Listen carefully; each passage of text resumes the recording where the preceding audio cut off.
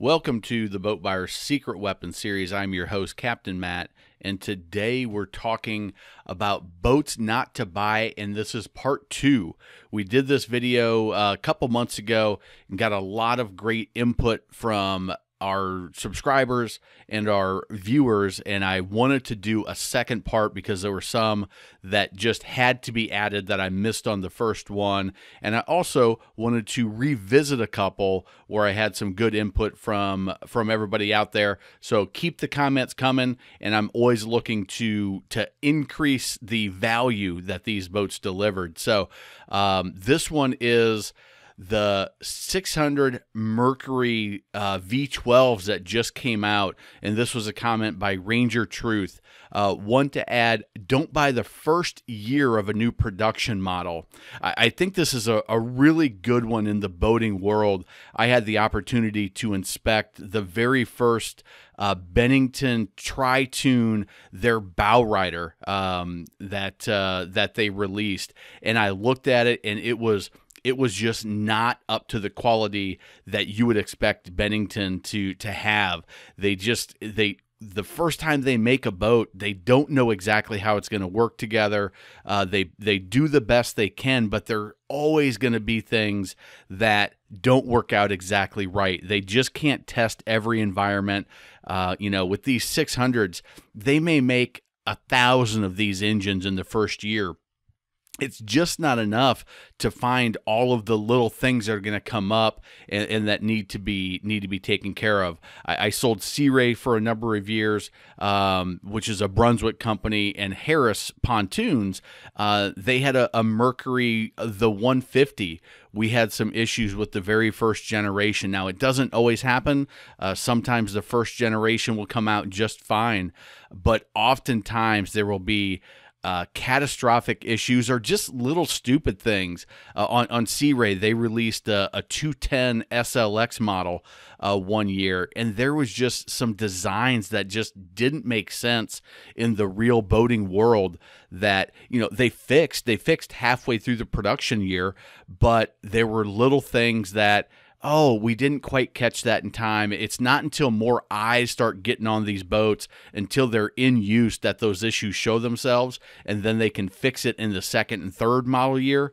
Uh, so that's my my opinion is stay away from that new production uh, the first year that's something out hey let somebody else go through those those learning curves and the headaches and uh, you take the model the the second or third year in next is a boat that hold, has an old registration sticker. This is an incredibly valuable one. I've seen it happen many times in some states. Whoever currently owns the boat to get their registration sticker that there may be back registration fees or back taxes in some cases and it's the new owner that's responsible and you can't get in, in, the state of south carolina i know this is true you can't get your numbers and your updated registration card for that boat until those back taxes are paid now, you may say, well, that's the seller's responsibility. The state's position is we don't care whose responsibility it is. You're not getting your registration on that boat because that boat has back taxes on it.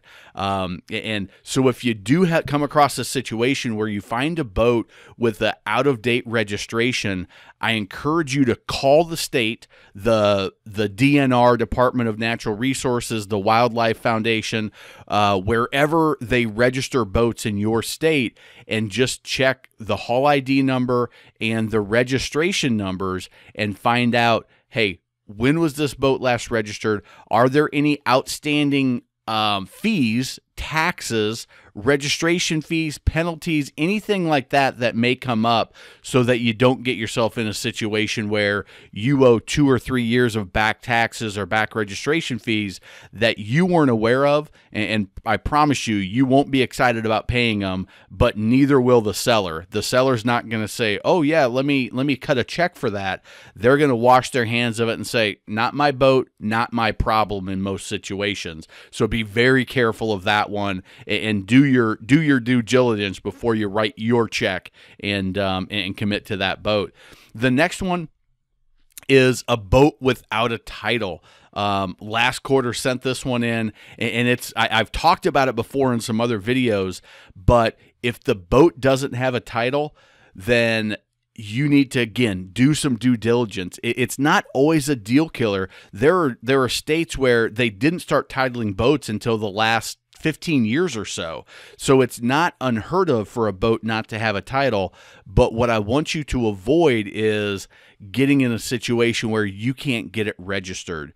So if there's no title, you need to go to the state where you're going to register it. Again, Department of Natural Resources, uh, the Fish and Wildlife, where wherever they register them in your state, go to that department go actually into the building and talk to somebody face to face if you can and say, Hey, Marge, I'm buying this boat. What do I need? Can you write it down for me and put your name on it?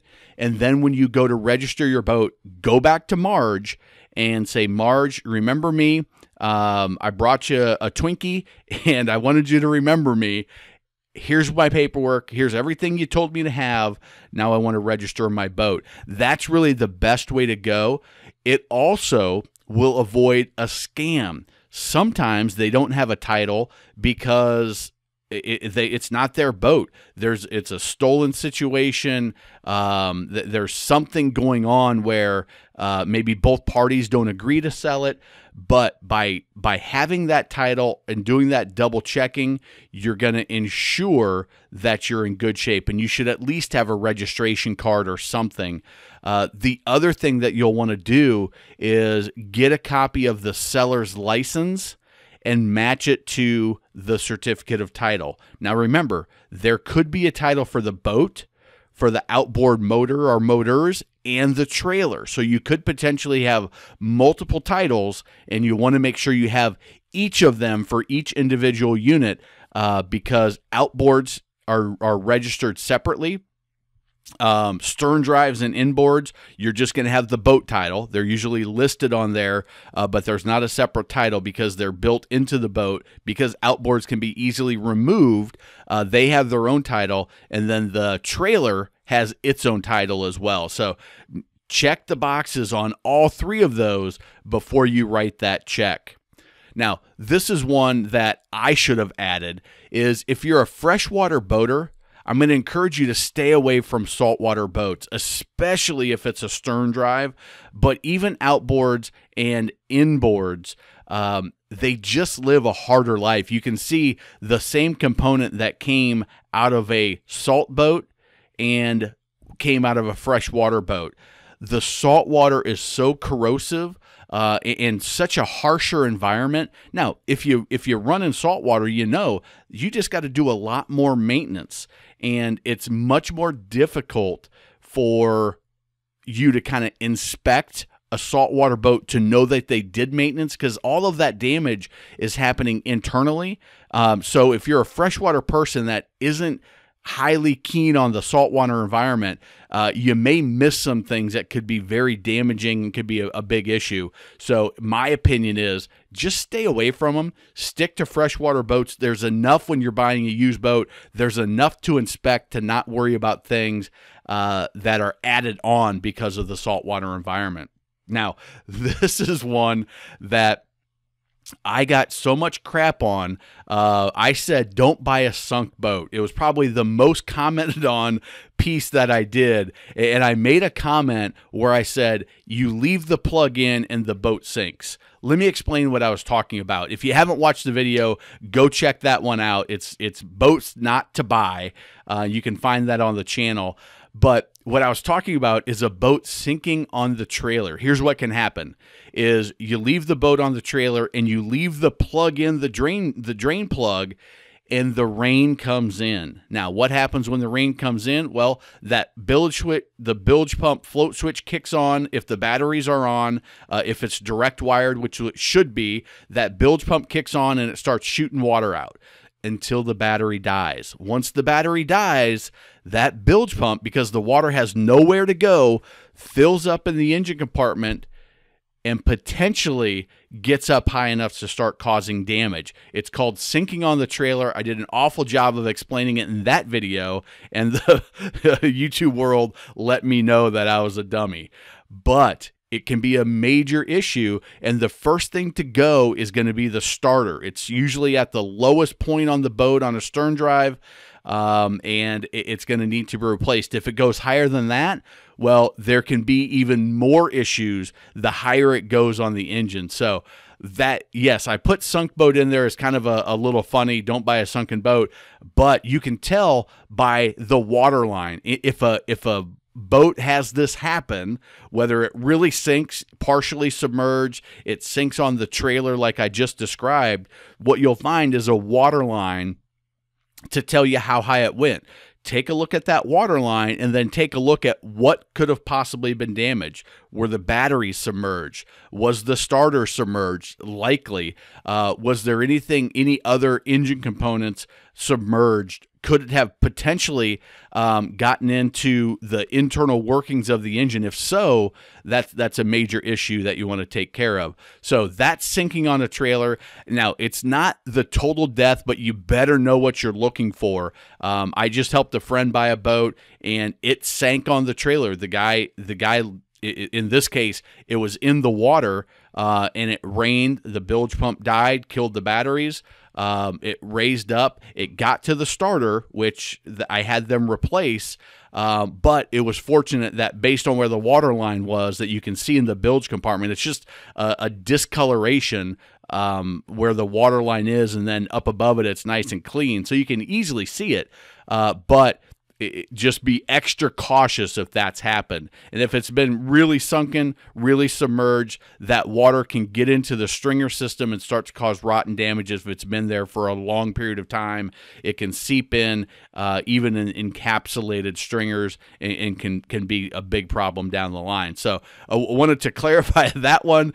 Um, this next one is the rot of that stringer system. I'll talk about that. You can see the U.S. Boat Expo if you're considering a boat in the next 12 to 24 months, go check out usboatexpo.com. We brought together a bunch of industry experts uh, to give you advice in their particular area of expertise, and I think that's very valuable for you to check out. But this one, um, rot in the in the deck and the flooring um, or the stringer system and the structure of the boat uh, can be a, a, big problem. Now, I was given on the transom, on the stringers, the internal structure, I was given the comment of, hey, you need to tell people how to check for this. So here's how you check for rot. Um, one is if it's on the exterior of the boat, you should tap it with the back of a screwdriver or lightly tap it with a hammer. And what you're looking for is kind of a, or listening for more than anything, is does that hammer kind of bounce back? Uh, like you're hitting something nice and solid and like you're almost hitting an anvil and it just kind of bounces off it? Or does it does it make a thud and it's a little bit dull on the bounce back? It almost sounds kind of a hollow sound. Now you don't need to crack it real hard. Just gently tap it and you want to tap around all through hulls uh, through hull fittings uh, all around the transom all around the the um, uh, where the the stern drive is going to come out uh, anywhere where there's a bolt going through the gel coat into the fiberglass, in through the in through the the transom, and you want to tap all around there. Um, that's how you tell if it's solid or not. I need to do a video of this, which which will be coming out um, when I have a boat that I can tap. if you're looking at the stringers, you want to take an awl or a, a, a small screwdriver and just kind of kind of press around in the wood in the area. Take a screwdriver and turn a screw um, to see is it digging in and getting tighter or is it just stripping out, which is an indication that there's probably some rot under there that it's getting into. Uh, and this for Snow Dog said, give a sniff in the bilge compartment. A sweet and pungent smell is is kind of the a telltale sign, not a guarantee, but that means red flag, slow it down and look for more. And then Carl Jensen says, hey, if you start seeing rot, it's four times more than what you actually see. So if there's rot in one spot, don't assume that that's it. There's probably more that you can't find and you can't see because it's all going to be under the gel coat, under the fiber, under the fiberglass. Um, it's not going to be just readily apparent. So really slow down. If you see indications of that uh, slow everything down and, and, just start digging in a little bit further. Now this is one the the omc stringer drive and i've got about five engines to stay away from coming up. So um, i think these are, are really really important. So stay tuned um, but the stringer system, everybody agreed. Absolutely stay away from it. I had a guy that said, I watched your video two months too late um, and, and, I lost uh, five, six, seven grand, whatever it was. Um, but I also had people that said, Hey, I've got the OMC King Cobra drive, uh, which is a, a it, was the patent was bought by Volvo and there's still parts available is what they're saying. Now, I've also had some people that said I had a Cobra drive and it was bad too, but I, I just wanted to share this because I, I, didn't I don't think it's fair to put them in the same category. I think the OMC OMC stringer drive, stay away from it 100%. The OMC King Cobra drive, know what you're getting into. Um, check and make sure you have a place to get parts, that you have somebody to work on it if you're not going to do the work yourself, uh, and that that boat and that drive is in as good of shape as humanly possible. Um, I, I, think it's it's important to know the difference. If you hear OMC, find out Stringer Drive or the King Cobra Drive, and if so, Stringer, stay away. King Cobra, red flag, slow it down, and check everything else out in more detail. The XDP drive, I, I had a couple people say, hey, you're a little bit too dramatic, but the majority of comments around it were stay away, stay away, stay away. So um, on this one, I, am going to still stick with stay away from it. I, I think the the jury is is in on that and it's this is a, a drive that can be problematic and you're certainly going to have problems reselling it, uh, it because the problem's only going to get worse and worse about parts and and having issues. So uh, pay attention to that one. If you find a, a volvo xdp drive uh, do your research and don't just jump into it. I'm going to say stay away from that one too. Now, this is one that uh, D Hurt 8955 said, "Hey, the Malibu boats with the MEFI uh, 3 ECM. That's a, a fuel injected uh, computer module. Basically, it's a the third generation, and there was a difficult time finding a replacement part. They they tended to fail quite a bit.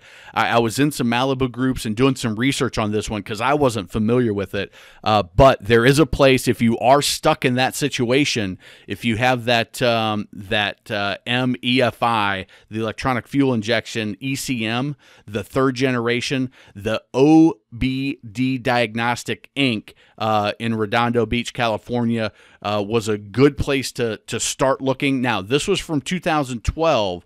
Um, these boats were in the in the 99 early 2000 era. I couldn't find a specific year time frame, but just find out if you're looking at a Malibu. Um, find out what the ECM is in that uh, in that engine if you can, and just again slow it down. It's a red flag. Slow it down, and, and don't get stuck in a situation where they're saying, "Hey, a rebuilt one's eighteen hundred bucks," and that was pretty consistent in all the all the chat rooms that I found.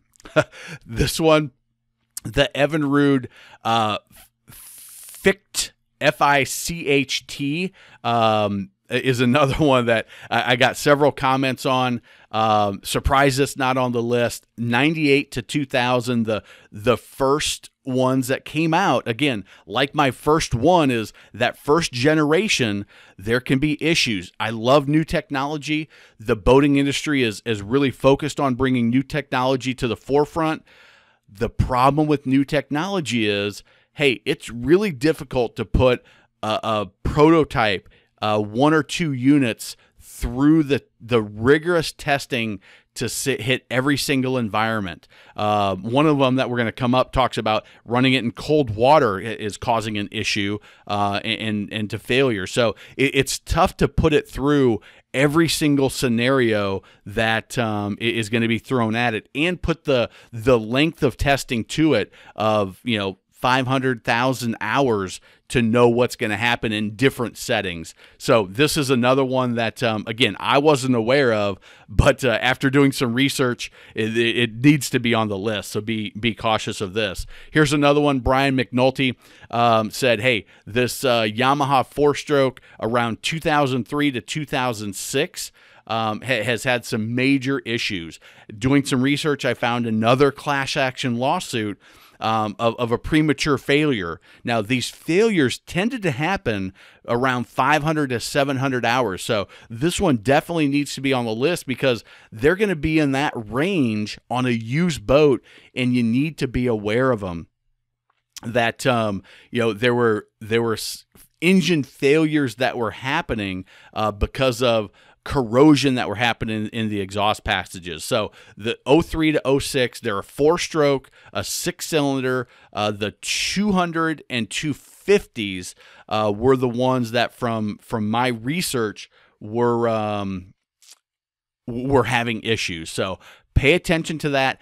Here's my here's my philosophy on used boats is you can always find another one. So if you find the perfect boat, it's got this engine on it. My question is, do you want to take the chance that yours is going to have issues? Uh, or that yours is going to be the one that doesn't have issues uh, versus just going to another boat and, and, finding one that's that's not problematic. So um, the next one, this is the Optimax 95 to 03 Mercury Optimax. This is a two-stroke.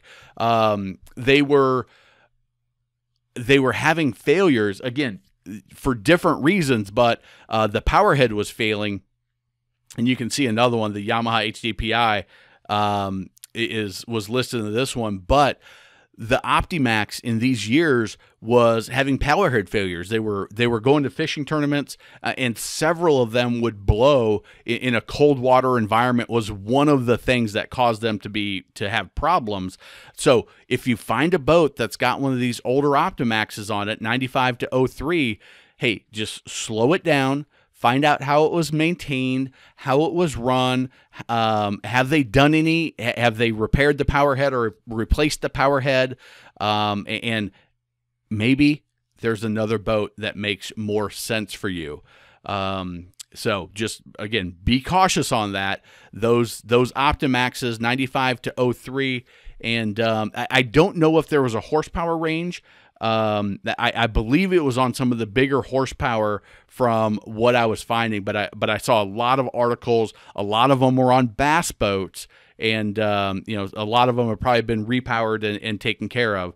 So the next one is the SEI replacement stern drive for the Mercury Alpha um, drives.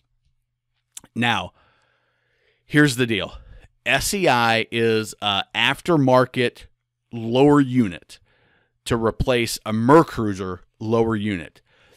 In my experience, the it's just not as well built. The gears are smaller, not as sturdy, not as heavy duty.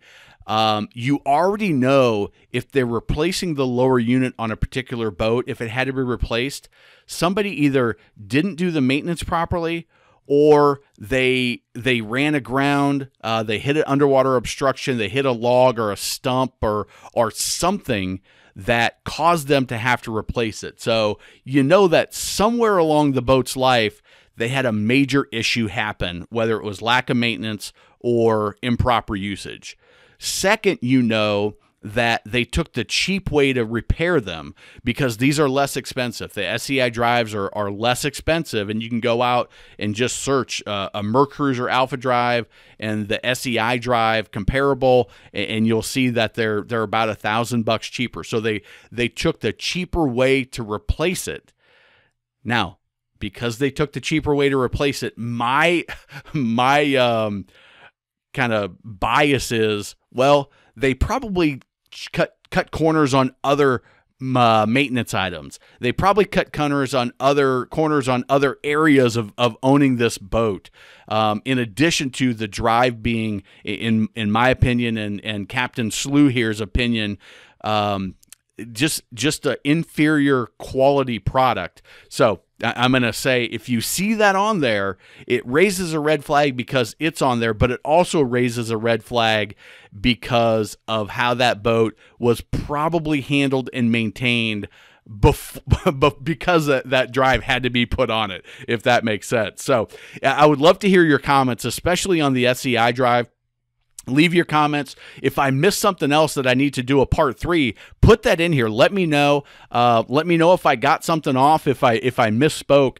Be always glad to update it put it in the comments or do a whole new video. Uh, if you enjoyed this video subscribe to the channel. Um, attend the boat expo. Uh, it's recommended. It'll take you usboatexpo.com will take you right to all the details. Youtube has recommended some uh, videos here for you and make sure you hit that like button if you found this valuable. Hit that dislike button if you hated it, if you thought I was way off base, and leave a comment and let me know why I was off base. Thanks for watching, and remember, life truly is better on a boat.